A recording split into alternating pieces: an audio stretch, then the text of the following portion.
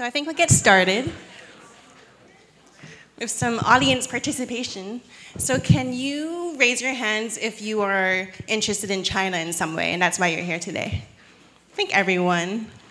Um, is anyone here interested in the Me Too movement, especially in Asia? Cool.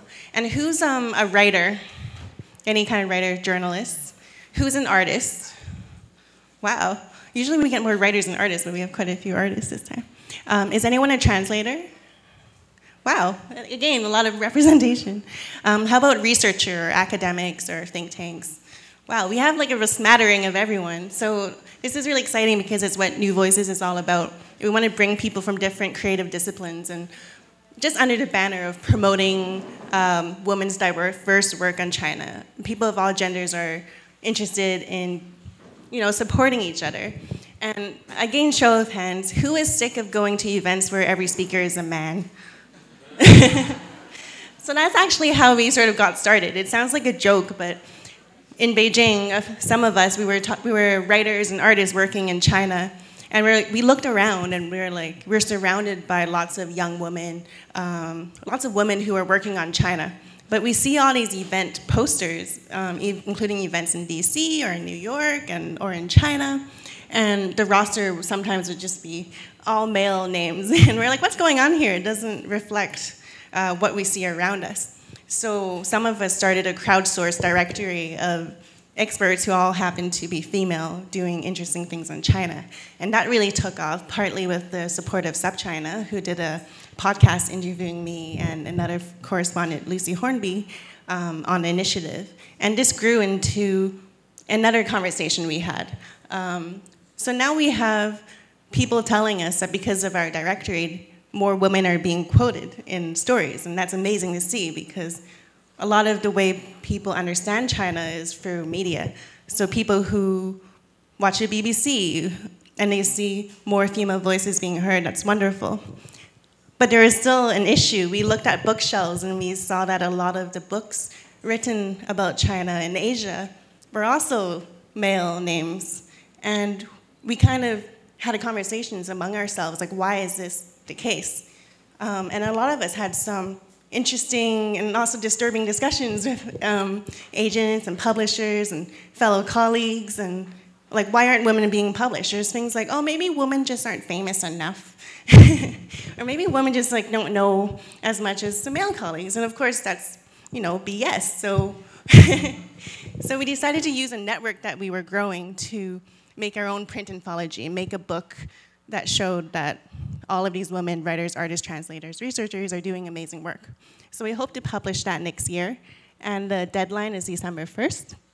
And on top of that, we're doing so much more. We're creating media. And I'll have our co-chair, Alice Xin Liu. She actually came all the way from Beijing. I live in Vancouver now. Um, so can you come up and talk about our different projects and our podcasts? Hey, guys. Thanks. Thanks. Yeah. So um, thanks, Joanna. She is the uh, founder of the Directory project that she talked about that sort of started all of this.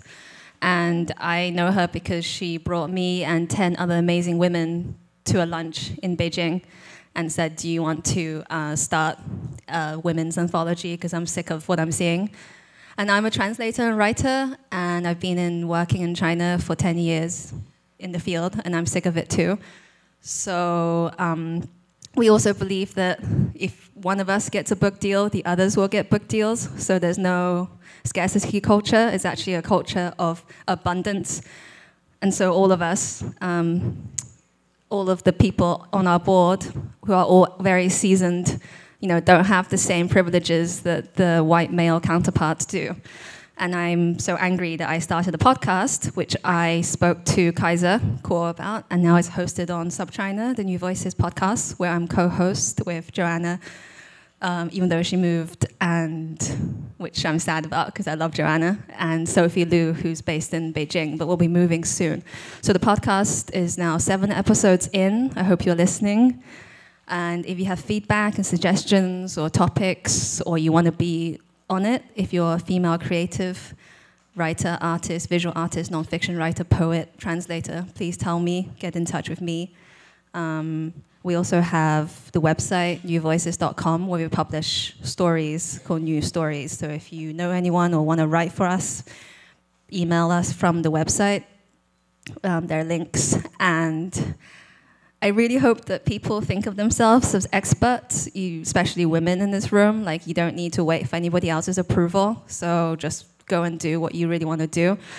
And that's what I do on the show is I push all the amazing women that I've known in my 10 years in China, and I say you're an expert in this field. There's just no other um, excuse, really, because I'm really sick of all the male experts, and we hope to launch our writing and others' writing too.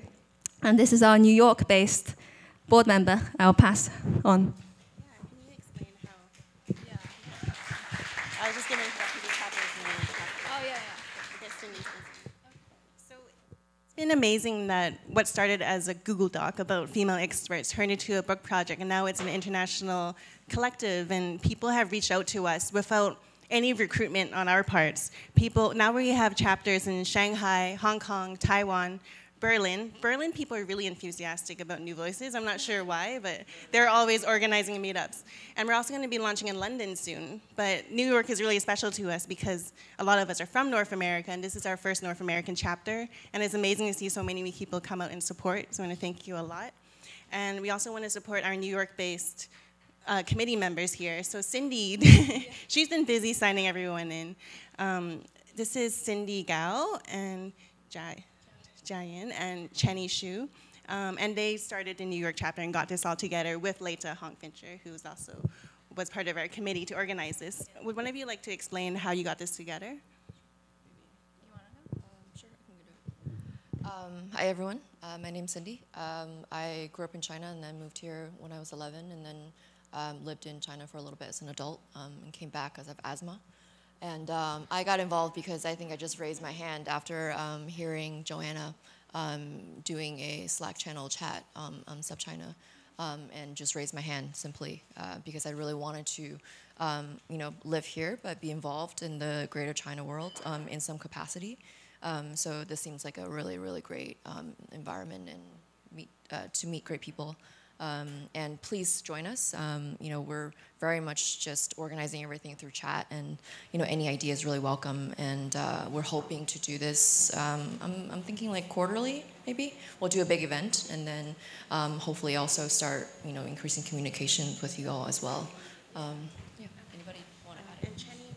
Oh yeah, I just want, don't want to take any more time away from the panel, but because I think everyone covered everything, the origins, the Google Docs anthology the Twitter and the and the social media.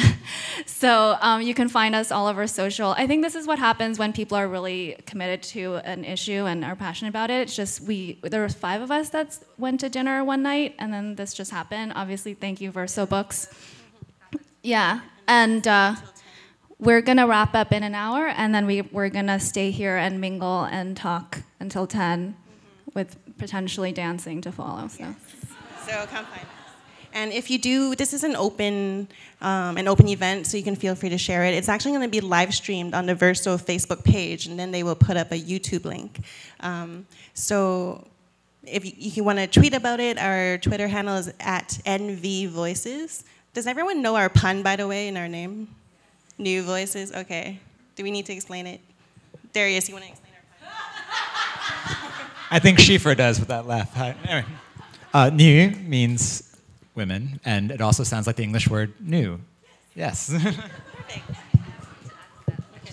um, we had a podcast guest, a poet called Eleanor Goodman, who's uh, upcoming episode, and she actually made the pun as I was, we were interviewing her, and she said, actually, new voices is new because we've never heard female voices.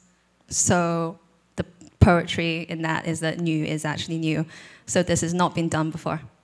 Just wanted to add last but not least, we'd like to thank our collaborator, SupChina, who's been supporting us every step of the way, from promoting our female experts directory to helping us produce our podcast. So we just want to explain a bit about what China, is. Sure. Um, hi, everyone. My name is Jia. I work for SupChina. Uh, as you can see, that's our banner.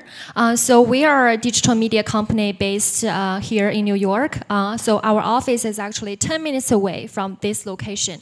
Um, and uh, so we cover um, uh, news about China for Western audiences. We have our daily newsletter um, produced by Jeremy Goldkorn, who actually has lived in China for 20 years, but he was originally from South Africa. And uh, so uh, introduce myself. So I'm actually video editor for SupChina, and my colleague Jia Yuan, uh, she works, uh, she writes uh, social uh, culture stories for our um, website and for our newsletter.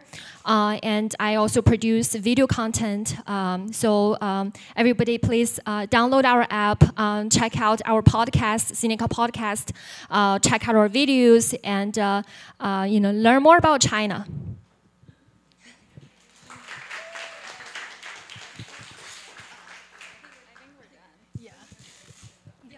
just just want to say, um, China is very honored to be part of this event. We are all here for female power. Our company actually is founded by a woman, Anla Cheng, who's here with us as well.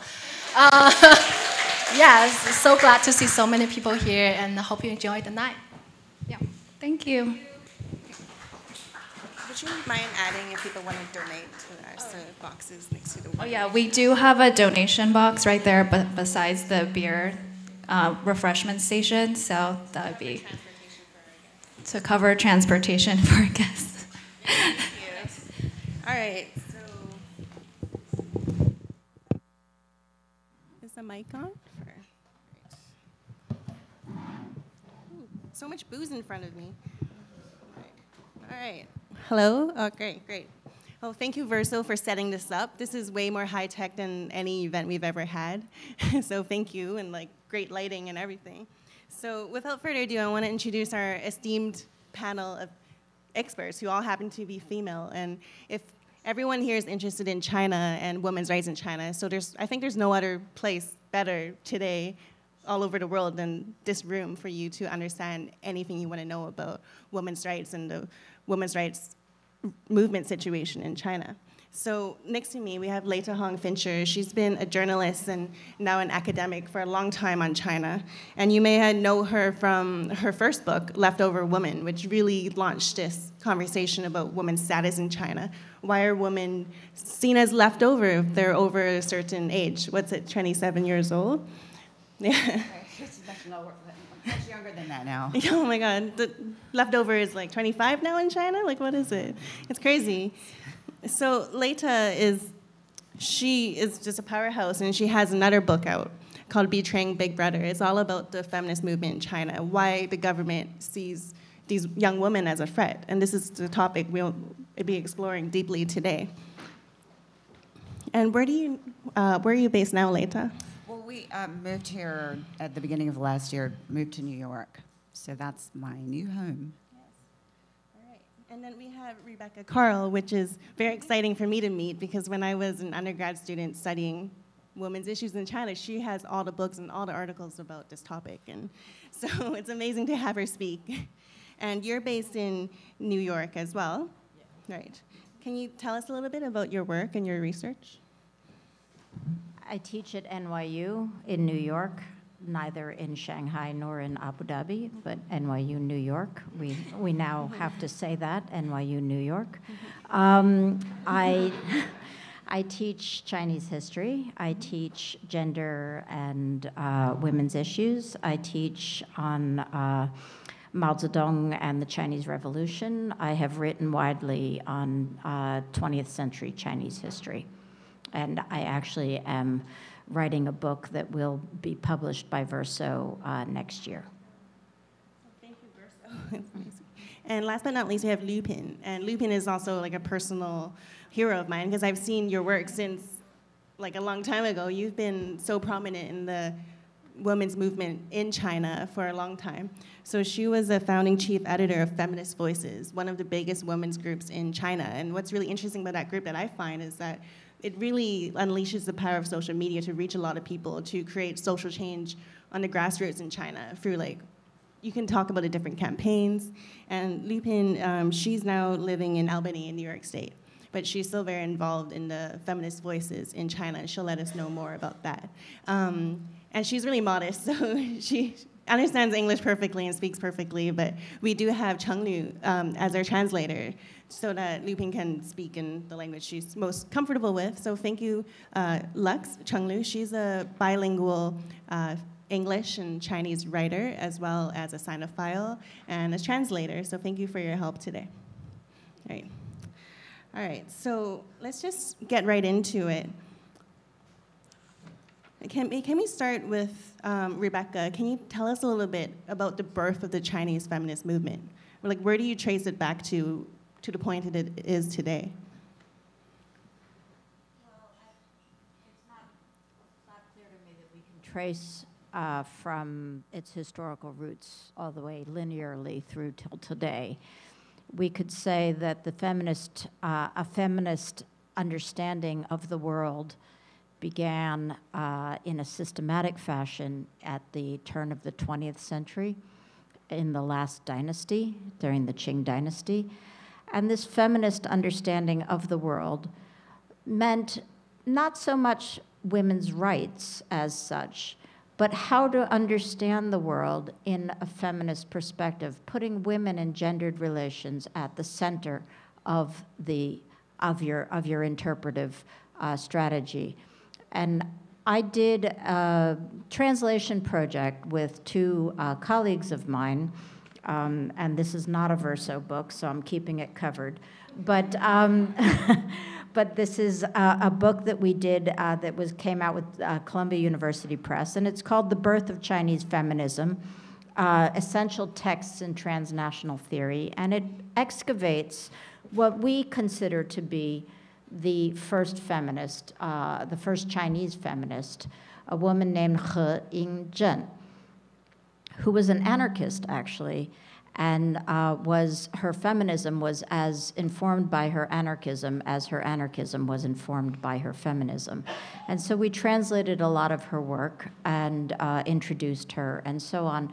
And it seems to me that the impulse to um, to to interpret the world in a gendered feminist fashion is one that has come and gone over the 20th and 21st century in China. It's always a latent possibility. It hasn't always been at the forefront of the historical moment, but it, it comes back.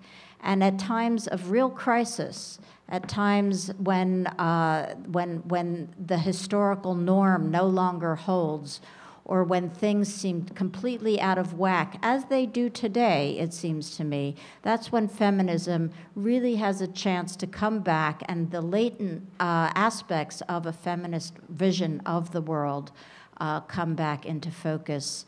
Always differently, each time because it's uh, uh it's responding to a different kind of configuration in the world, but always with a certain kind of um, of, of sense that gender and equality and justice requires a complete restructuring of the world, not merely a reform of certain aspects of social life.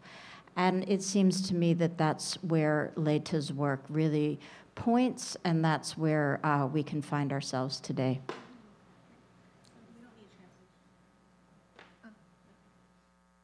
Leta, can you pick up where Rebecca stopped? Um, and your, your work really focuses on contemporary Chinese feminists. And I think who, who among you know about the Feminist Five, a group of five feminists who got arrested before Women's Day for handing out stickers about sexual harassment? So it was Hillary Clinton spoke out, it became an international movement, and people started more people started being interested in the feminist movement. But Leta, you've been tracking it way before then. Can you tell us a little bit about the scope of your book and why you decided to write it and this group of people?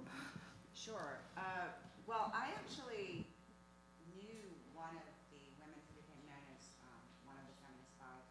Is, this my um, Li Maizi. Um, I wrote about her a little bit at the end of my first book. And so um, in 2015, for those of you who don't know, um, there were uh, uh, there was a group of feminist activists in quite a few different Chinese cities who were planning to commemorate International Women's Day by handing out anti-sexual harassment stickers on subways and buses. Um, but before they were even able to hand out the stickers, the Chinese police carried out a very sweeping round of arrests in a lot of different cities, um, arrested at least 10 feminist activists. But then they ended up focusing on five young women who became known as the Feminist Five. They brought the women who were not in Beijing all to Beijing, put them in a detention center, and it looked as though these women were going to be criminally prosecuted um, for some kind of disturbance of social order. And so um, the Chinese government, in jailing these five young women at the time, I believe, were trying to wipe out the possibility of a large scale feminist movement developing. But that move radically backfired because um, it just galvanized the feminist community inside China. It galvanized a lot of people who had not really believed in feminism or seen the need for it before um, inside China. Um, outside China, there was an, an, enormous diplomatic outcry. You mentioned Hillary Clinton, who was considered to be the front runner for the US presidency at the time. There were other heads of state. Um, then there was a lot of social media pressure as well. So um, the hashtag free the five in English outside China went viral. There was a lot of international news coverage. Um, and the timing of the jailing of this, these women, the timing was just so uh, ironic because Chinese President Xi Jinping was preparing to co host a United Nations World Conference on Women in New York just just uh, a couple of months later.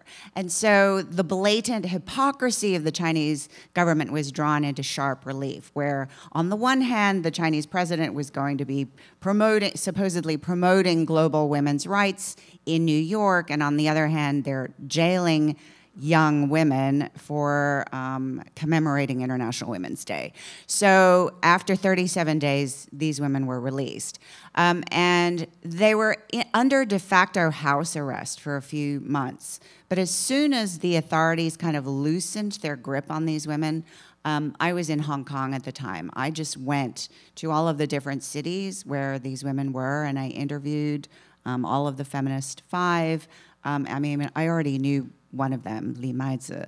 Um, but then after doing these interviews with them, I realized that actually this feminist network is much bigger and broader and deeper than I had ever realized. And so I just conducted more interviews and, and it just, I just felt like I have to write this book. Wow. And we will get into the period you cover in your book, pretty much how things have gotten really bad under Xi Jinping.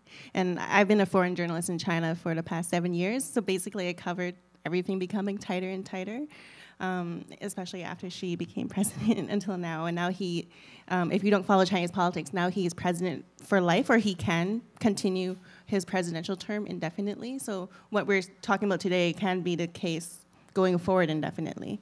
Um, so Lü Pin, I think um, it's so great that you're here and things are coming down all the way from Albany. And you are the founder of Feminist Voices, Nüquan Zhisheng, and which recently has gotten some heat from the Chinese government. So can you explain um, what it is that Nüquan Zhisheng does and what do, is the current situation? 现在的情况有没有被审查？嗯，在在一九九六年的时候，我当时一些我我当时的一些同事，在我还是做记者的时候，我当时一些同事成立了一个组织，呃，我加入这个组织，并且从那时候开始一一直都在为之工作。我指的是这个组织的发展，也是一个二十多年的、二十二年的历史，是中国当代妇女运动的一个见证之一。嗯。呃，我没说。OK，没关系。So in the year 1996, when I was working as a journalist, I joined some of my colleagues to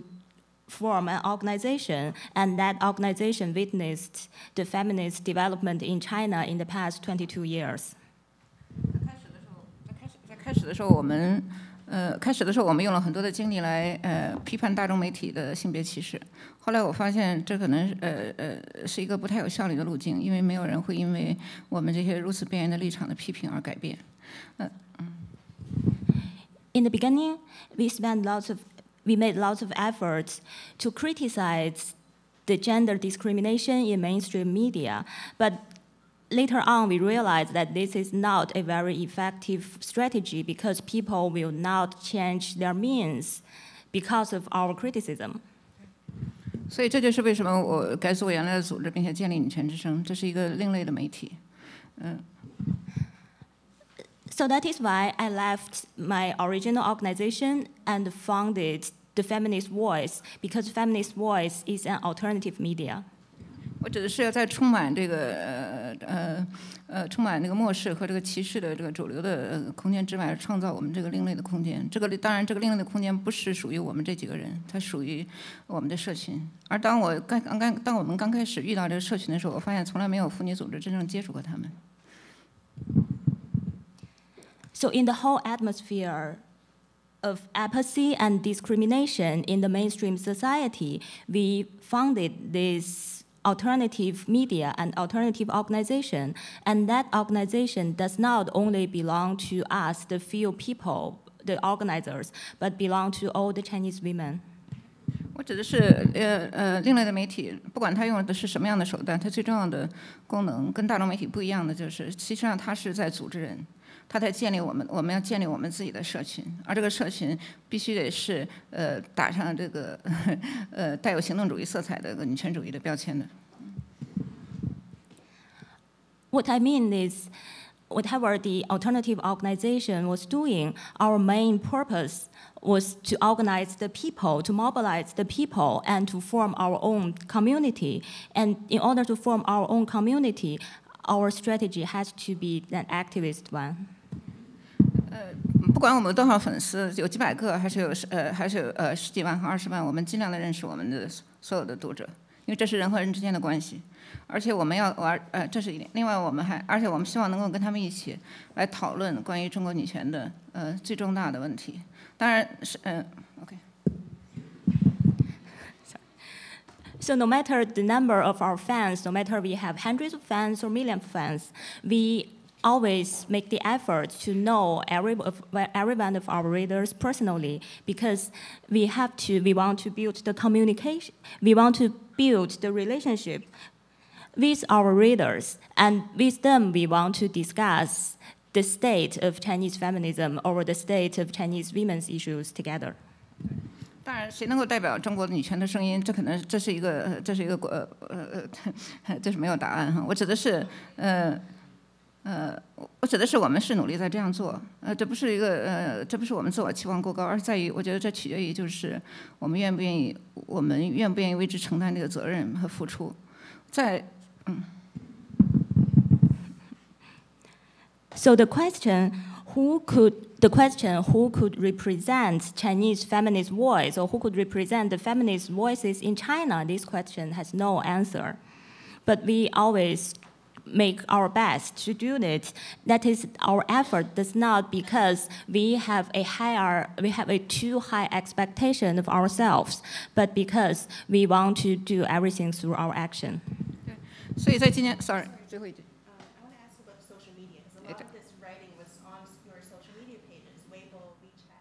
Um, why did you choose social media? And recently, what happened? And can you explain why these channels were pretty much blocked?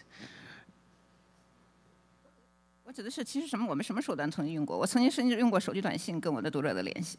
在没有在没有这个在没有这个媒介之前，呃，社会运动和另类媒体它必须得去适应这个主流的呃媒介的发展的形式。呃，当我们进入到新浪微博的时候，已经，OK，sorry。 So we tried all kinds of means to mobilize people, to organize people. In the beginning, without social media, or at the time before social media, I actually used text messages on the cell phone to communicate with our readers. And alternative media has to use all the available means that's in the mainstream society to do what, to achieve our goals. 社交媒体的第一个原因就是我们的读者都在用，所以我们也要用，我们要把内容放到我们的内容放到他们所在的地方。另外一个，嗯嗯。The first reason we utilize social media is all our readers are using it. So we wish to develop our content in the space of our readers. 另外就是我们呃，它的这个网状，它有利于我们建立它的社区。我指的是在呃，所有我们的讨论之下，我们的读者他们在相互，所有我们的发布之下，我们的读者在相互讨论和相互认识，这是我们的组织化的方式。And another reason is the organizational situation or the the organization of the social media is very effective for us to form our community because our community members could discuss the situation of Chinese women among themselves. So in March this year, again, just after International Women's Day, Feminist Voices Weibo account was shut down, and that had a quarter of a million followers. So can you tell us about the current situation? Why do you think you were censored? 二零二零一年的时候，呃呃呃，女权之声是第一个敢于在微博用这个女权标签的一个呃公共平台。当在二二零一八年这个女权之声它被禁止的时候，我看到有成千上万，我我我看到我们的梦想实现，就是成千上万的人，他开他们开始在社交媒体上认同这个女权主义。嗯，这可能就是女权之声要消失的原因。In the year 2011, Feminist Voice was the first media outlet to use the label feminist on itself. By the year, by this year, by the year 2018, I could see thousands and tens of thousands feminist tens of thousands media outlets using the label feminist and identify with feminism. Maybe that is one reason why feminist voice has to disappear to, uh, I'm going to ask Rebecca to also give some more context. Um, can you speak a bit, Rebecca, about why so many women in Chinese history, contemporary and um, in different decades, have used writing and art as a medium to spread their messages? And to what extent were they successful? Well, if we understand that, yeah, I'm trying to speak into it. Uh, if we understand that uh, underlying the rights problem, the problem of, of equal rights, the problem of Chen, of nüquan, of, of, uh, of women's rights, is a problem of ideology.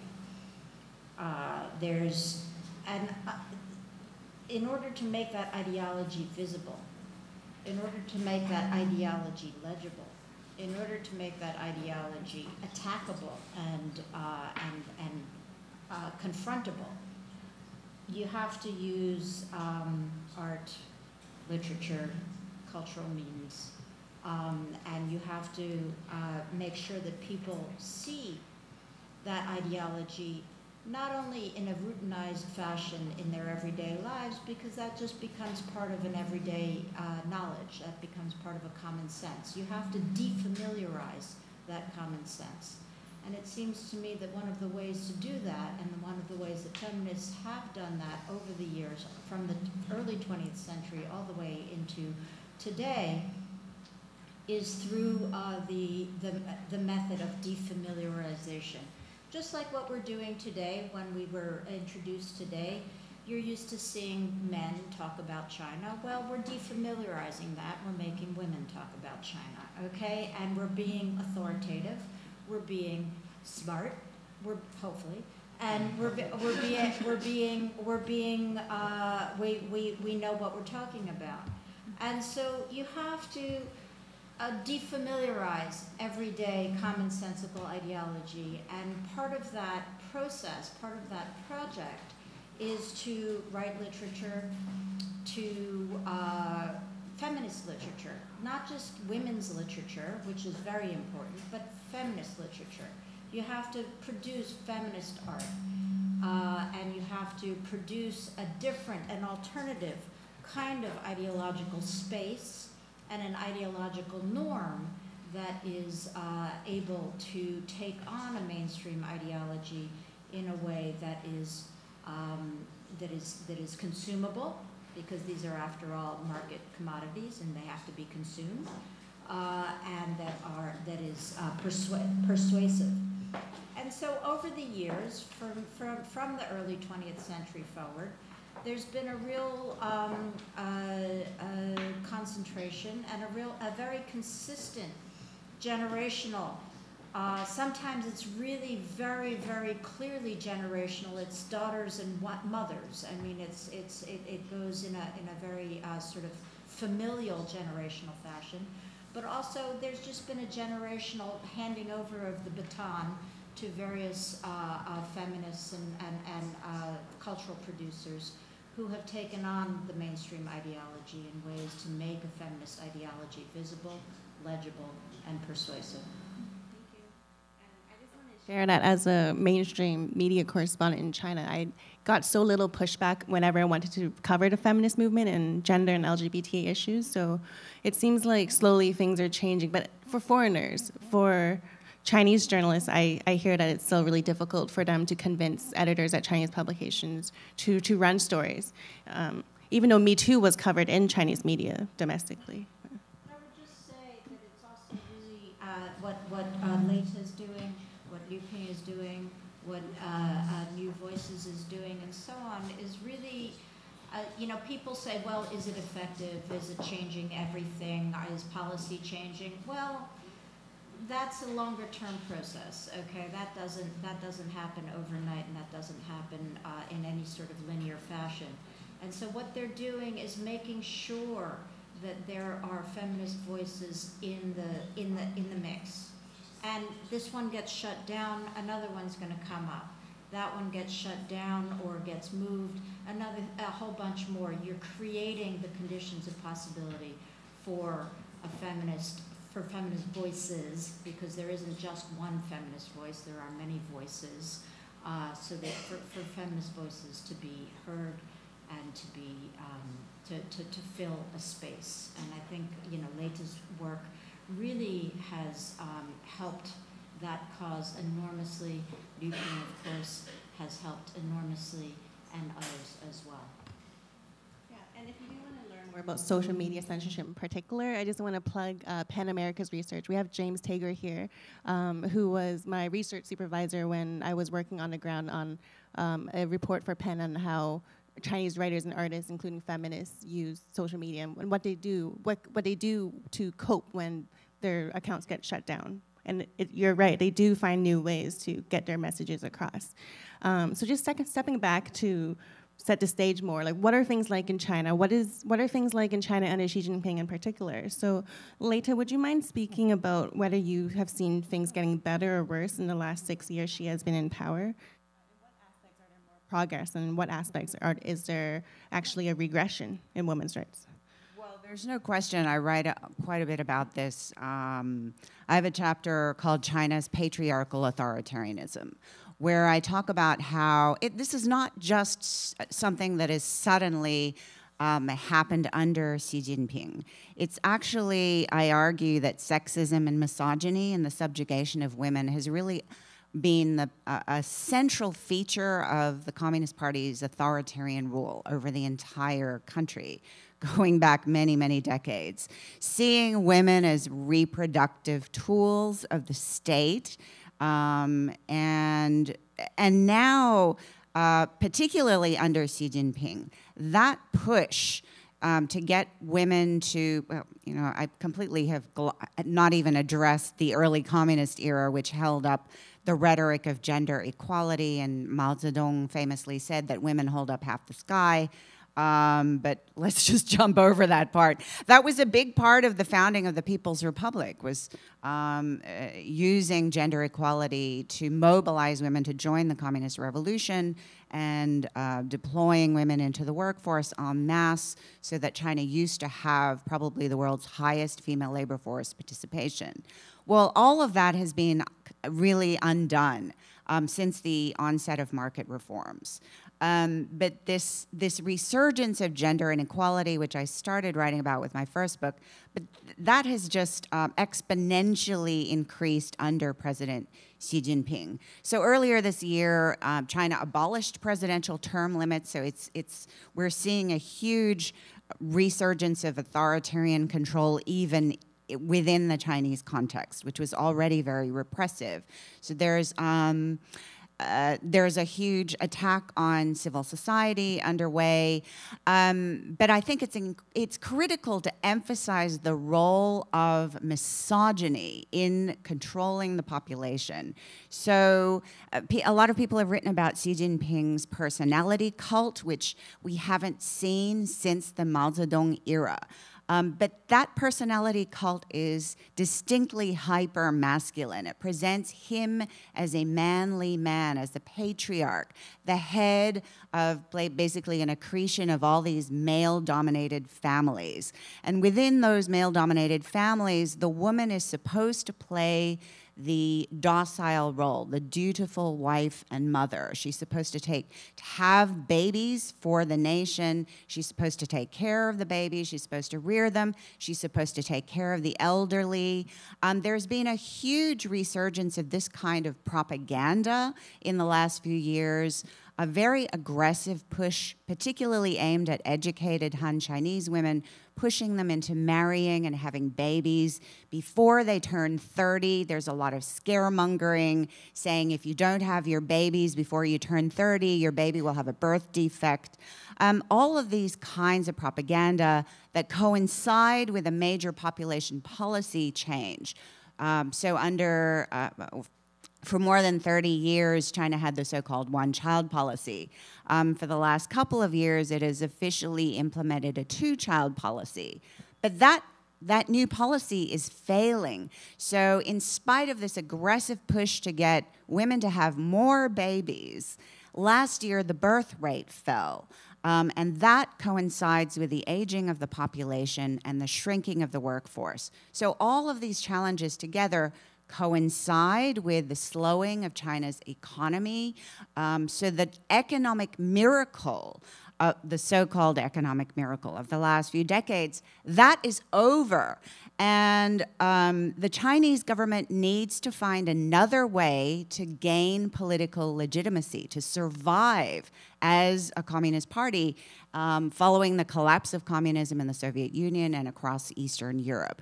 And so fundamentally, I argue that this um, uh, increased aggressive push um, uh, the subjugation of women, pushing women to return to the home, all of that kind of language and policies, um, it's fundamentally about the Communist Party trying to survive um, in, in, the, in the face of all of these new threats. That ties into my next question because I think a lot of this is quite confusing for people because a lot of the stuff Lü Pin and other feminist activists in China are asking for aren't radical. They're they're not asking for Xi Jinping to stop his patriarchal dictatorship or anything like that. Um, and it's very, you know, even-handed. So Lü Pin, can you talk about what are your main priorities as Chinese feminists? What are the main issues Chinese feminists want to see change in society? Uh, 我试图用这个，呃，非常非常，对我同意，确实人们总总是在问这个问题，嗯、呃、嗯。呃我我同意这个中国的女权主义，它没那么政治化，它没有在政治上并不并没有那么并没有那么呃并没有任何跟反党的议程，呃，直接的政治反对不是我们的任务，嗯。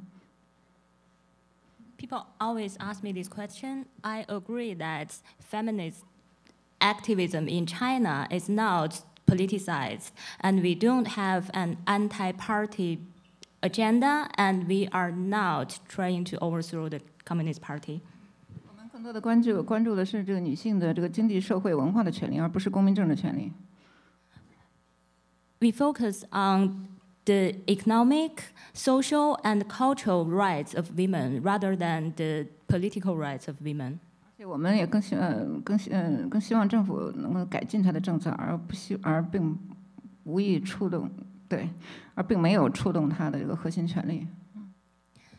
We wish the government could improve its policies on these matters, and have, we have no intention to overthrow the government, the core power structure of China. 但我嗯，但我想，这个你是否是你是否是国家的敌人，其实不是由你自己就来决定的。But you cannot decide whether you are deemed as a state enemy or not.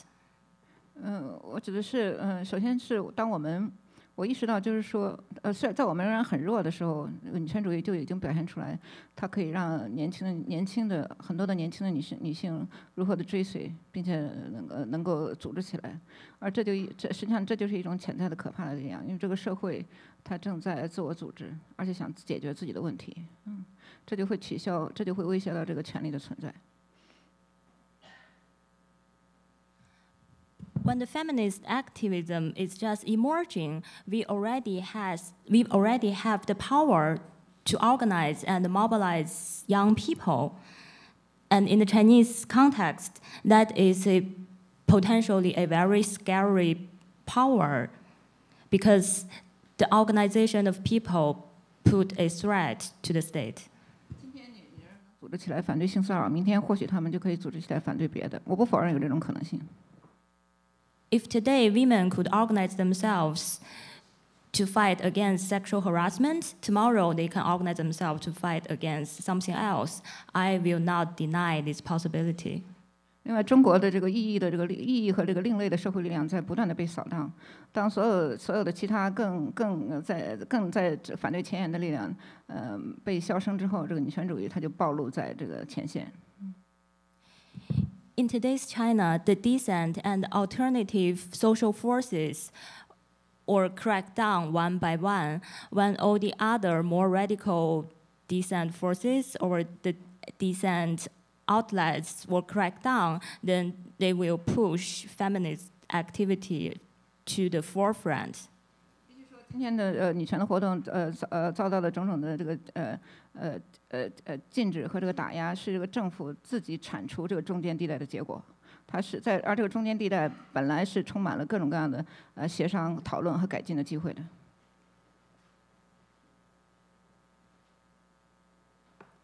I have to say that today the crackdown of feminist activity is the result of the government to get rid of the gray area in the society, in the, in the civil society. But the gray area is actually a space for negotiation, for discussion. 中间地带，sorry，在中间地带被铲除，其实人们只有就剩下两种选择，一个就是呃，除了一个就是爱国爱党，一个就是异议化。我指的是就在这样的一种被迫做二元选择的呃这样的一个状态下，女权运动被激进化。 So when the gray area disappeared, people are faced with two options. One is love the country and love the party. The other is to become decent. And people are forced to choice, and that's the result is radicalization. Hearing from our speakers is that it's not really the content of what Chinese women are asking for. Things like ending domestic violence or ending sexual harassment or having equal opportunities in the workplace. These are things that are actually completely consistent with the founding principles of the Chinese Communist Party, but um, they're worried about civil society becoming more powerful and bigger in general. Um, people who can, like feminist voices, mobilizing and getting so much attention in social media. Um, it seems this is troubling the party because it, they're learning how to organize well, and maybe in the future they might organize for something that the government doesn't want to see happen. Um, Rebecca, can you talk a bit about your observations of how Me Too has played out and how recent um, manifestations of a feminist consciousness has played out in China, and what you think about this? Well, I mean, I think I've been um, both puzzled and uh, and uh, uh, encouraged by the Me Too movement in China. I think that uh, at first, at least, to the extent that I know very much about this, which I can't say I know a huge amount, but uh, to the extent that Me Too coincided with anti-corruption campaigns against individual men, it seemed that it was not a threat. But to the extent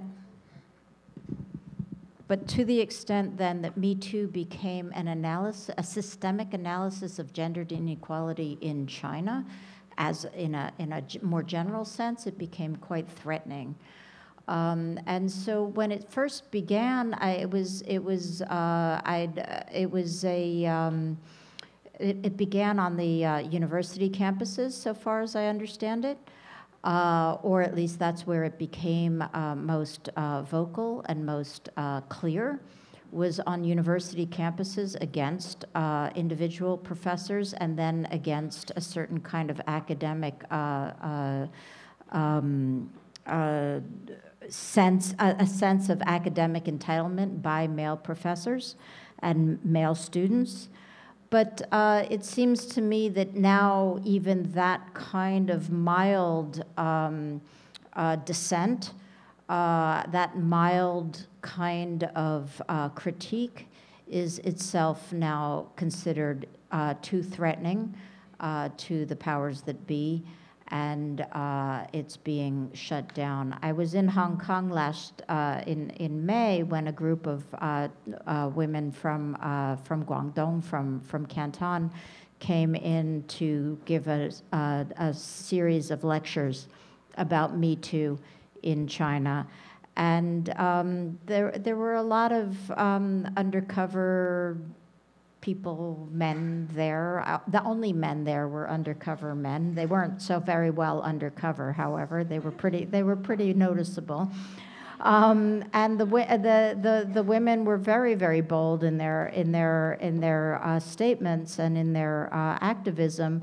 But I understand when they got back to Guangdong, all of them had to, you know, drink tea and do uh, the, the things that they have to do in order to um, deal with the police. So um, I think it's, it's, it's not obvious any longer uh, what's happening with Me Too. I think there's still a very large well of discontent, obviously, at the kinds of uh, sexual harassment to which women are routinely uh, subjected uh, in China, and I think there's a, a large amount of uh, awareness of it. But to what extent that can continue to be actually organized uh, in China is not clear to me. But I understand we have some. Yes. So we actually have a surprise guest speaker. This is amazing. Like this is the best place right now to learn about China because we have so Sophia Huang Xueqin here, and she was one of the most important galvanizing people in China's Me Too movement. She was one of the women from Canton, from Guangdong, who went to Hong Kong to speak about Me Too and got followed by police. Um, I actually got to meet her in Guangzhou, and it's amazing. She's like, "All right, I'm in New York. I'm here on a speaking tour." I didn't know she was coming, so if you, you told me, I would have put you on a panel. So, but, but like, I put her on a panel anyways, so please speak about your role in Me Too movement. She was a journalist and she had her own experiences to do with Me Too, and she got the word out really early, like last last fall. So can you speak a bit about your experiences? Okay, thank you everyone. I was so surprised to invite here. so uh, this is not expected. Uh, okay, I'm an independent journalist from China. Uh, so I was a harassed before when I was uh, newly graduated working for China News Service in 2010, but I didn't speed it up. And then later, I talked a lot to my uh, uh, female colleagues, and many of them told me that they were suffers from the sexual harassment before. And so in last year, in 2017, I was in Singapore. So and then Me Too movement started. I think like it's the best chance to push this movement in China. So I talked to a lot of female journalists in China, asked them like, would you like to join this movement? Let's go forward to promote it in China. But most of them said, oh, I'm not only a journalist right now. I'm a mom. I'm I'm a, a, wife, so I had to concern about the reputation for my family and my wife. Uh, no, my my husband, my uh, parents-in-law and my daughters, my sons. So and then they don't want to spit it out, but they are willing to share their story with me. So I was thinking like, okay, what would be the best way for you to come forward, and then you don't need to expose yourself. So they said, oh, maybe a uh, survey. So at that time, I launched a national survey on female journalists about the sexual harassment. So uh, this survey lasts for a month in 2017 in October. So I got uh, more than 1,000 journalists, actually it's 1,764 journalists come to speak to me. And then I collect the data and share their story. So from the data, more than 80% of female journalists in China actually has been suffer from different kinds of, different forms of sexual harassment before. Some of them actually was rape. And none of them want to speak it out because uh, it's a stigma to talk about sex, talk about sexual harassment in China. So I published this report and launched this uh, survey, and then Luo Xixi from China, and she is graduated from Beihang University. Also, the first case in China, eh, in China about Me Too movement. She come forward. She said, Sophia, I want to do this with you because you are not only to encourage female journalists come forward to share their story, but you also want to introduce the anti-sexual harassment law or anti-sexual harassment mechanism into workplace and into the campus. So she was thinking this very meaningful. So she joined.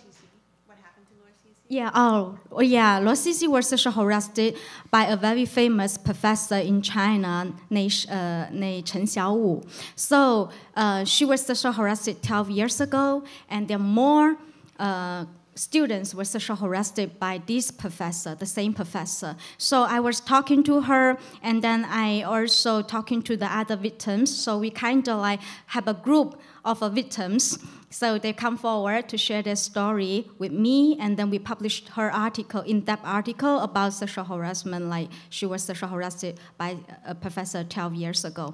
So this article was published in 2018, the first year of 2018. It became the uh, new fresh, like the new star of Chinese uh, uh, Me Too movement in China. So it get huge attention, and just in one day we get five million readers yeah, people reading this article and spread the news and talking about, oh, these uh, students graduated, doctoral graduated from Beihang University, one of the best university in China, was sexually harassed by a famous uh, professor. So the professor gets that later, and then we, uh, after this article, there's more victims coming forward. And we wrote a petition letter to the authority, I mean the campus, and the Ministry of Education. Uh, the, I wrote a petition letter in three days we get 3,000 signatures from the students. And then another feminist named Zhang Leilei create a group, like uh, encourage more victims or more students to write to your uh, university to ask for this anti-sexual harassment mechanism. So in one week, we got 8,000 students from 94 universities to sign this signature, to sign this petition. And the authority, uh, the Ministry of Education, finally agreeing that we are going to study this mechanism, we are going to introduce this law, but so far, uh, not yet. and after this case, okay, very quick. After this case, we had more than 50 we have more than 50 sexual harassment cases happening in China from the campus to the uh, workplace. So a lot of high-profile people, people in power was named, and many professors was lose their job, and a lot of people. Uh, but we also had some backlash. Okay, that's the main role I play in there. So I think that's it.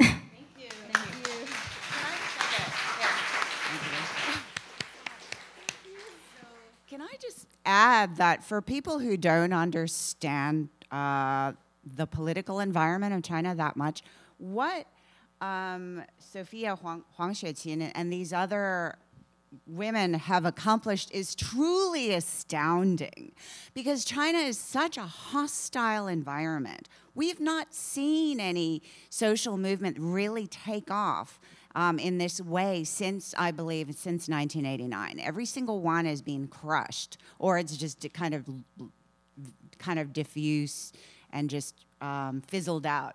So really, what you know, what what uh, Huang Xueqin is talking about is you may think, oh, well, okay, we got, you know, they got 8,000 people to sign petitions, whatever. But uh, it's truly extraordinary for a country like China. First of all, there's no internet freedom, and so they face this in incredibly intense censorship, which you could talk about. But just, I just wanted that everybody to be clear about that context, how difficult it is. There's no, I mean, there, there, you do have media agencies, but there's, there's so much censorship of the news media. There's no freedom of, of assembly. There's no independent judiciary. So victims of sexual violence basically have no recourse. And so people coming forward using their real names coming forward about their personal, you know, shame, that considered to be shameful stories about sexual harassment in an environment where the retaliation can, can actually involve going to jail um, and certainly a lot of other forms of intimidation and harassment. That is just extraordinary bravery. So.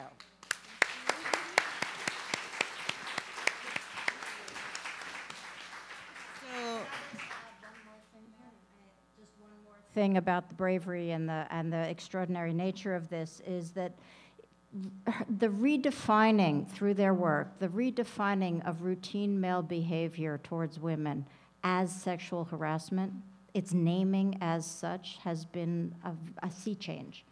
I mean, this was just routine. Ma male privilege was just an absolute everyday routine.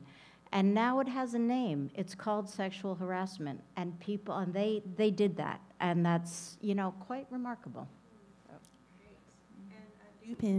I know that Feminist Voices um, has been working about sexual harassment issues for such a long time. Like, why do you think, like, a lot of people don't agree that this was something that came from the West, that Me Too dropped into China and like changed China. But why do you think that the hashtag Me Too and the global Me Too movement um, helped inspire people in China and it became so big.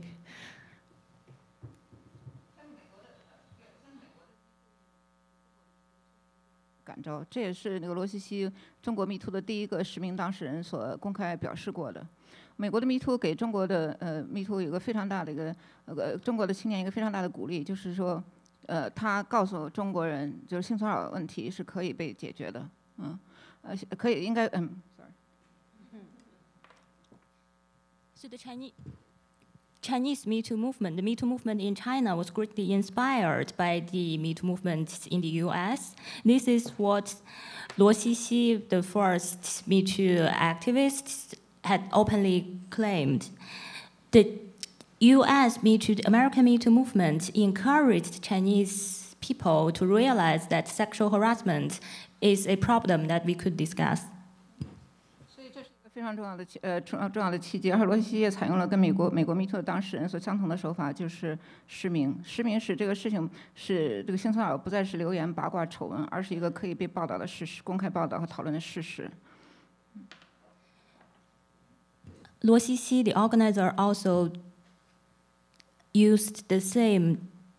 Strategy with American movements, which is to use the real name of the victims. Real names make the sexual harassment cases not gossips or scandals, but a real case. 呃，中国的青年从二零一二年开始就开始在互联网上大规模的讨论关于性骚扰的问题。我必须说，性骚扰是这一代青年人的女权议题。嗯，这跟家家庭暴力是他们上一代人的女权议题有类似的地方。因为性骚扰，因为性骚扰是关系到这些初出校门，在学呃在学校或者在工作场所没有权利的年轻人的一个非常非常广泛的遭遇。Chinese young people started to discuss sexual harassment problems since the year 2012. I would say that sexual harassment is the main topic for the Chinese young people of this generation, just as domestic violence is the main topic to the earlier generation, because sexual harassment is a huge problem facing young people just either in school or just graduating from college and entering the society who are utterly vulnerable. 也你也可，我们也可以说，他们选择性骚扰这个问题来表达对中国普遍的性别不平等的愤怒。We could also say that those young people choose the topic of sexual harassment to express their anger, their outrage to the gender inequality in China. 中国和美国相比，中国没有的是什么？ 中国没有任何呃真正嗯可以称之为制度性的性反性骚扰的措施。中国没有自由的互联网和相对透明的治理。我当然我不是赞美美国，只是相对而言，嗯。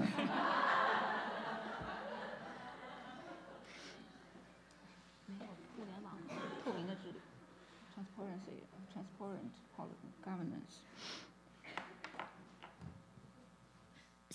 So comparing to the American society, what Chinese, the Chinese society and the Chinese Me Too movement lacks is the change, the improvement on the policy level. And in China, we don't have a free internet, we don't have an open internet, and we don't have a transparent platform. 另外还有中国缺乏性骚扰法律化的解决途径。嗯。We also don't have a judiciary channel to solve the problem. 我们看到，在中国看到的更多是在性骚扰不断的呃性骚扰的个案和围绕着性骚扰的呃呃围绕这些个案的愤怒在不断的持续的发生，是在一个平面上在不断的呃发生。So what we could see are case after case of this sexual harassment and people's outrage over these cases, all these cases and all these outrages, all these outrage happen on the same platform. Oh, oh. All the outrage happen on the same space, on the same level, or. 我想还补充一点，就是说中国的性骚扰创造了一个突破审查的一个奇迹。当人们认为中国的审查能够控制一切的时候，这个性骚扰却实现了一个所有人都没有预料过的传播的突破。The is it working?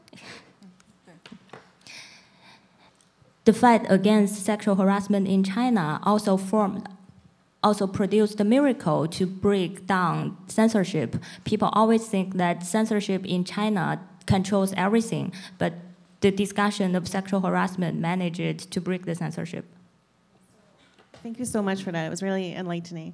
Um, Aleta, can you, you pointed out when we were speaking earlier that there's a lot of overlap between the women's rights movement in China and also the labor rights movement, and a lot of organizing that we've been seeing on campus, which, like Rebecca said, is very unusual. You don't see people getting a lot of petitions signed in China. Like things get shut down really quickly, and the fact that this is happening despite how strict Xi Jinping's administration has been is really remarkable. Can you talk about these different linkages with other movements and other causes?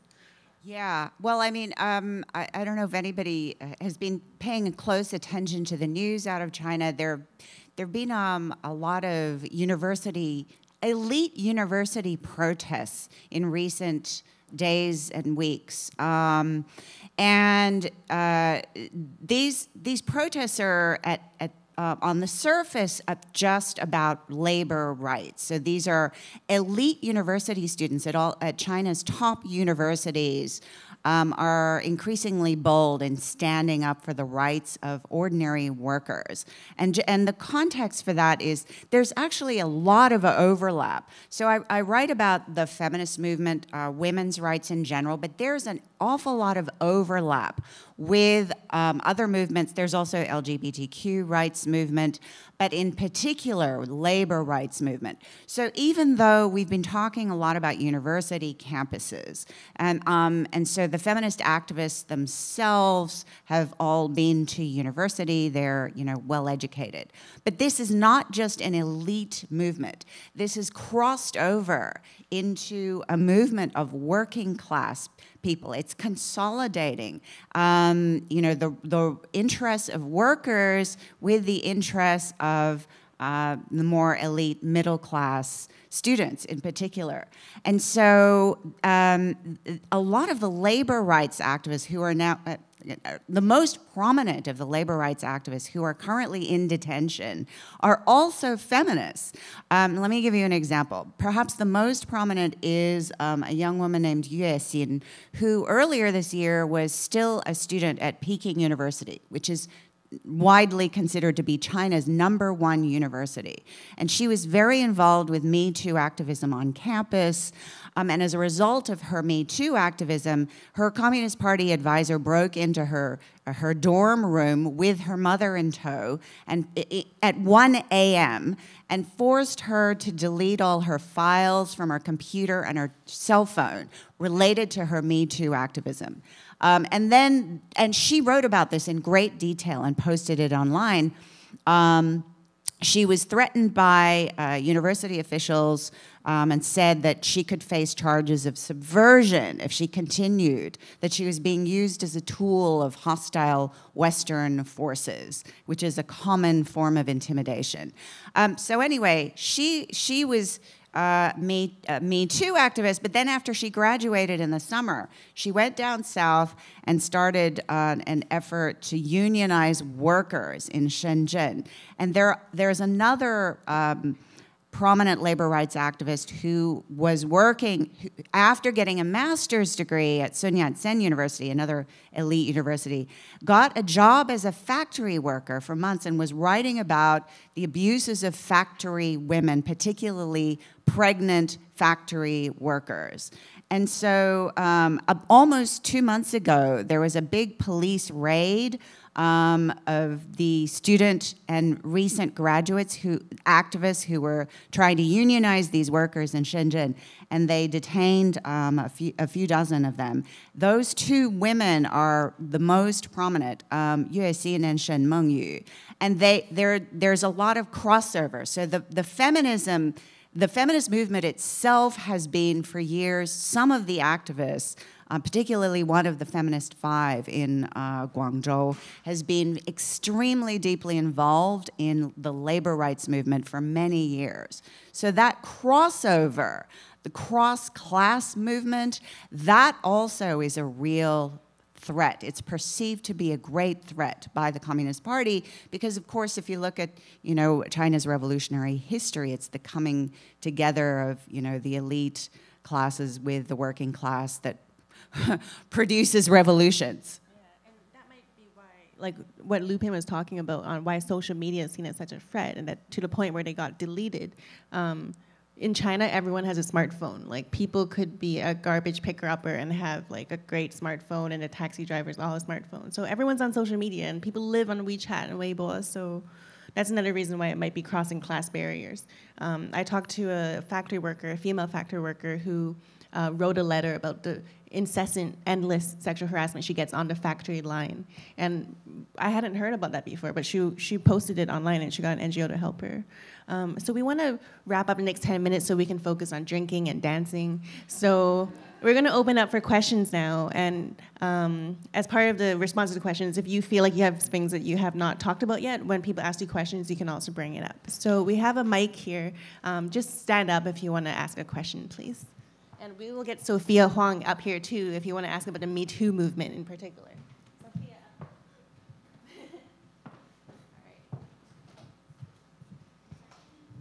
Questions? Mm -hmm. Yeah. Uh, hi, my name is Emily Waltz, and I'm a researcher and a writer on China, and I'm uh, really happy to be here. Thank you, everyone, for a great panel. Um, Leta, in your book, you talk a little bit about uh, this dynamic that the activists seem to be facing where the more they give in to the state's demands, the more the repression increases, where when they fight back, they see a kind of loosening or, or maybe just a intimidation on the part of the state and they step back. And I'm wondering if, if you and maybe some of the others could talk about that sort of personal calculation and how it happens where if you fight harder, there's more space, but at some point there's still leverage. It, you talk in your book about using family as leverage and other things to get people to sort of step away. Well, the thing is that um, I mean, one thing that has really inspired me, and, and I, I and I'm so astounded by, is the incredible courage of so many of these young activists, and um, the persecution that they have to endure is just incredible. I write about that. In, I can't really talk about it too much, but I write about it a, a lot in the book. Um, just the level of harassment, you know, constantly being kicked out of your home, constantly being, you know, having authorities knocking on your door and, and you know, taking your fingerprints, uh, um, holding you for interrogation at the police station, um, you know, telling, get, getting you fired from your job. Um, so that, but the thing is that in with quite a few, and I would say probably an increasing number of young people in China, we're seeing that that kind of harassment and intimidation is actually emboldening them. As Lü Pin said, it is radicalizing. The, the, the pressure, the intense pressure on all of civil society, but on young people, on young, young women, but also young men who are like minded, believe in women's rights or LGBTQ rights or rights for workers. Um, these young people are just uh, increasingly bold, and the measures taken by the government to control them are in many cases radicalizing them even further. And this is why, this is one reason why I believe um, that this women's rights movement, very broadly considered, including all of its overlapping with labor rights, LGBTQ rights, that this movement is the most vibrant and extraordinary that I've seen since the 1989 pro democracy uprising. And um, it's going to be very, very hard for the government to control it. We see that it, it already has been hard. I mean, the, the fact that, as Lü Pin used the words miracle, it's a miracle that the Me Too movement has taken off in a country like China. It really is a miracle. And um, the authorities can't squash it by jailing all of these activists because there are so many of them now all across the country at all of the elite universities. And we just saw in the last 24 hours this incredible new protest at Nanjing University, another elite university. Um, and so who knows where it's going to go, but this confrontation between the Chinese government and young people who are, um, particularly young women, but not also men, who are increasingly standing up and saying no to the government, saying that, you know, I want equality, um, I, you know, I deserve to be treated with dignity. Um, and so they're, they're not fundamentally, as Lü Pin said, they, that was not their original goal to overthrow the Communist Party. That's not it. But they're becoming more radicalized because they're being harassed so much. That was an amazing response. Does anyone want to add to that? Yeah, I just wanted to add that I think it's a big irony, of course, that originally feminists found in the Communist Party in the 1920s their, their alternative families. That's where they went in order to escape the oppression of their natal families and the oppression of arranged marriages and so on. And the Communist Party, in fact, um, while of course not without its problems at that time, was the place where women and men went to escape and, and live a radicalized life. Today, of course, the Communist Party is not that place any longer by a long shot, obviously. And so that women, as Leta says, are finding, and men, are finding new communities, new forms of community, whether it's online or in, in, in actual materiality, finding new ways of living radicalized lives in new, in new forms of community. Um, and I think that's really important to understand how people are going to find new communities to live their lives in that are not communities that are dictated by the state or through the state. Um, and the state can, can't, can't actually suppress all of it. And, um, and so it's, uh, it's, a, it's a cause for hope. Just to give a sense of the scale of this, the, the Women's Federation in China, which is the government body that's supposed to promote women's rights, is actually one of the most vocal bodies that are shaming women to get married and have babies very early. So you can see like the lack of hope that people see in the Chinese Communist Party. But there's never been a woman on the top leadership of the CCP. So we have another question here. Hello. Oh, oh okay. Hi. um, hi. Um, I work for a show called Patriot Act. Um, oh my gosh. Um, and I've been following this story for a while, um, and so I have so many questions, but here's two.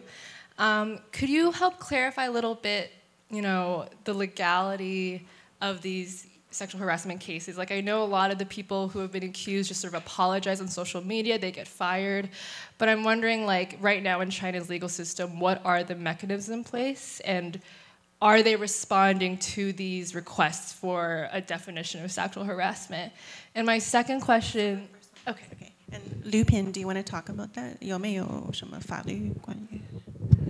Me Too 呃，就 Me Too 运动本身，迄今为止取得成效而言，就是它在呃呃在政在公共政策层面其实是缺乏进展的，呃，但是它在在学呃在学校这个领域里面，现在已经形成了这个处理被揭发的老师的一个通用的规则，就是会停止他们的教师的资格，甚至有人被开除。for the achievement of Me Too movement in China, we haven't achieved much progress in on the level of public policy, but we did achieve a whole process of the of the settlement of the problem of the sexual harassment problems on the college campus. Once a professor was found to sexual harass the students, he will usually be deprived of the of the certificate of, of the teaching certificate, and in most cases, he will be expelled from the school. 但是在除了学校之外的这个领域里面，呃之外，其他领域里面被揭发的人，他们其实并没有得到多少真正的惩罚。 But outside the college campuses, all the other people in other fields, when they were revealed as harassers, they didn't get punished. 而且现在也像在其他国家正在发生的一样，这个揭发者正在被控告。 Just as what is happening in other countries, the victims or the, the whistleblowers are charged or are sued. 所以现对，呃，所以现呃嗯、所以呃，所以现在我们就处在这么一个阶段，就是说，到底我们的这个权力机关和我们的法律机关对性骚扰是一个什么样的态度？这现在越发成为一个关键的问题。 So right now we are in the stage that the main problem is what on earth is the attitude to sexual harassment by our power structure. 其实我我倒觉得这不是一个特别大的问题。既然有那么多的教授能得到处理，关于什么是性骚扰，其实大家都心知肚明。 As for the definition of sexual harassment, I don't think that poses a big problem since there are so many professors were charged with sexual harassment. So it's an unspoken, there's an unspoken consensus about what sexual harassment is. Problem with Chinese law itself, where it, does say somewhere that sexual harassment is bad, but there's no guidelines on how to bring a lawsuit against someone for sexually harassing you. Even the rape laws are really backwards. Um, there's no such thing as rape against a man in China, by the way. You can't. A man can't be raped in China. He can be assaulted, but no. Yeah. So, can Sophia, can you talk a bit more about that? Just want to echo a little bit. I agree with Lu Ping, uh, but I also see a lot of difference has made since the Me Too movement uh, since this year, uh, because uh, it used to be like people not really coming forward to speak about like I was raped or I was sexual harassed before. People are so ashamed to talk about that. But after this 10 months movement, I think more and more young female or more and more young generations are more eager and more to, to talk about it. It's not like I feel so ashamed anymore. It's not this shame, I think heart of shame has already gone. So this thing I think is very important because even we do, we cannot make it into the criminal case because you need a, a lot of uh, solid evidence to prove that this is a rape, right? So and according to Chinese law, uh, we have some kind of law, but we don't have clear defini- uh, definition about sexual harassment. So most of the time when we argue the case, we don't use this sexual harassment as a as the our reason to argue, we use like 人格权, like the right of the personality and right of the reputation to argue the case. So so far, uh, we haven't made a lot of change in the law or policy making level. But I had to I had to say that um, I got some information from a lot of professors because I'm doing a lot of articles and in-depth reporting about the sexual harassment in different campuses in China, more than 10 cases actually. So I built some kind of relationship with professors who are invited to this group to make the draft about the sexual harassment, uh, anti-sexual harassment mechanism into the campus. So some of them actually feed me, uh, feed me the information which I'm supposed not to share in public, but I can share a little bit just off record. Like they said that they already have finished this draft about anti-sexual harassment in campus, and they already passed the draft, but they are waiting for the time to promote these anti-sexual harassment uh, uh, mechanisms in campus. And about the law, we have, uh, because I was also working with a lot of victims, uh, building a network to connect the victims with the lawyer if they want to make their criminal charge or want to civil case. I connecting with the uh, psychology and the social workers. So I know a lot of lawyers are thinking now uh, China uh, just days ago, we had the news like they are going to include uh, sexual harassment in uh, our uh, civil code. Uh, 民民民法通则, like the general law of civil code. Yeah, I think I make it correctly. So it's like there is a chance for us to really do something in policymaker to introduce anti-sexual harassment law.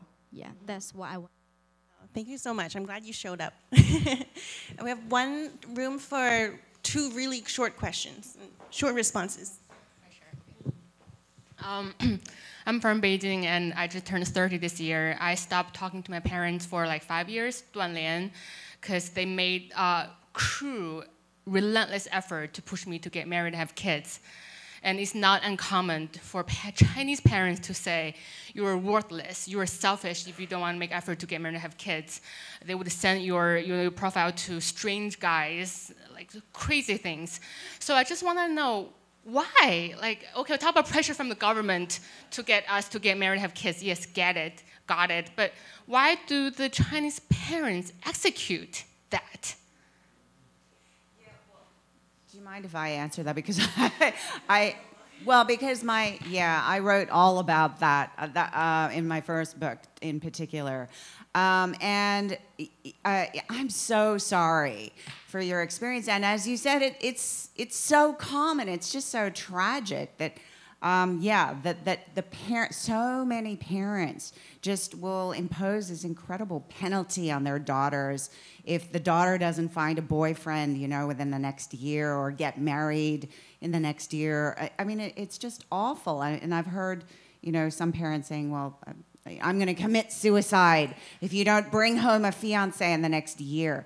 Um, and it's awful. But I do have to emphasize that a, uh, a lot of those messages are given to the older generation very deliberately by the Chinese government.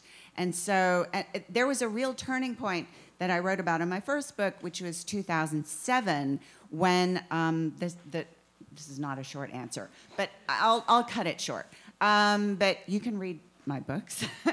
uh, yeah, but a lot of that pressure is orchestrated, in fact, I would say primarily orchestrated by the government, which is targeting the older generation and telling them you've got to keep up the pressure on your daughters or your nieces. Otherwise, China's going to go down the road of, say, Japan, God forbid um, where so many women are refusing to marry or have babies, um, and then you see the aging of the population. And so there are all these warning, I mean, that scaremongering that you see in the propaganda every day, that propaganda is aimed at your parents' generation. And, and that, you know, gives them the message that they have to pressure their daughters. And so it's not, ju- it's not just an individual problem it's very much state orchestrated. It mobilizes very effectively an assumption of a cultural of a cultural prejudice towards universal marriage that is um, supposedly embedded in Chinese culture for a millennium. I mean, there's always the 5,000 years or the 3,000 years or the 2,000 years or however, however many thousands you wish but there's always that it mobilizes a cultural presumption as well. So it's there's there's a real you know you can't be Chinese unless you have grandsons or grand grandbabies. You're not properly Chinese. Yeah. And so even uh, you know uh, uh, gay gay men lesbian women, they have to marry too. Uh, they have to marry heterosexually, reproduce, and then you know the parents leave them alone, maybe but uh, there's there's a sense there's a there's a real cultural mobilization. Okay, so Verso has been really generous with their office. They were actually they actually work here. So we don't want to have people to stay too long. So we're gonna move to another venue, a bar down the street, and Cindy will let us know that area. And some of our panelists might be there. I'll be there. NüVoices will be there. So all your questions, let's talk about it in like a big group. Meanwhile, let's have one last question. I see you are really fast. Um, hello, my name is Li Xing. Uh, I'm a senior student from Sarah Lawrence College, and I'm currently working on a uh, senior thesis research about how uh, social media accounts that produce um, content about sex education are affecting young women's idea of sex, gender, and being a woman today. So my question is really related to social media. So I'd just like to ask that, uh, what, how would you describe the space of social media in China, and what is it um, particularly powerful about it that will um, help facilitating pushing the alternative and emergent uh, ideologies like feminism into the mainstream? And how is the space of social media um, is affecting the um, younger generation, the, especially the female generation, about their idea of uh, being a woman? Thank you. 中国的两大社交媒体哈，社交媒体哈，一个就是一个就是微博，一个就是微信。微博像广场，这微信像街道。但不管在广场和街道，一个账号，呃，他总他可能遇到他的粉丝。所以我们要建立，所以我们要我们的我们我们所所以女权主义者走在微博和微信，在不断的建立这个阵地。而且曾经只有曾经只有这样一个一个公号来讨论讨论女权的问题，而今天我想在微信有成千上万个群。嗯，我指的是从单一的组织，社交媒体使女权的思想从单一的组织变成了一个非常非常广大的呃多元的一个组织状态。The two major social media platforms in China are Weibo and WeChat. And Weibo is like a square, WeChat is like streets. No matter you're on the square or in the streets, if if you have a public account, you can encounter your fans. So that the fem Chinese feminists are striving to build their battlefields on these squares and along these streets. And from we started from one public account about feminism. Right now we have thousands of public accounts about feminism. 这个这种呃 呃，公号式的运作的，现在我更感兴趣。我现在我我还想补充另外一个非常感非常有意思的现象，就是微信的这个群。呃，我觉得微信的群比任何就英文世界的社那个社交媒体，它更适合于人们的组织化。呃，在人们可以嗯。In addition to operating public accounts, I right now I am also more and more interested in the WeChat groups. I feel those WeChat groups are more suitable in the Chinese society to organize people. 人们可以非常迅速的通过微信群来组织起来，和自己认识的人或者跟自己完全不认识的人，可能在非常短的时间，他们就可以建立一个几百人的群，他们马上就开始讨论他们所关心的社会的问题。People can organize themselves through these WeChat groups very quickly, whether with people you already know or with people you never heard of. With WeChat groups, in the very short time, you can form a group of hundreds of people.